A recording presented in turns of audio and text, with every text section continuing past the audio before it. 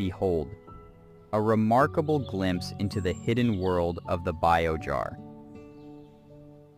Through the magic of time-lapse photography, we are privileged to witness the extraordinary dynamism within this miniature ecosystem.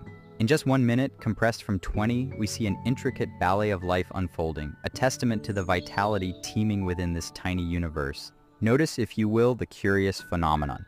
A delicate, cloud-like substance cascading gently from the water surface to the bottom of the jar.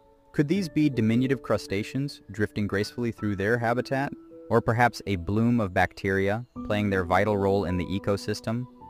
Such mysteries ignite the imagination and invite deeper inquiry. It serves as a poignant reminder of the sheer complexity and fragility of ecosystems, even on this microscopic scale. To all who have joined me on this journey, thank you. Your support inspires me to continue exploring and sharing the wonders of our natural world.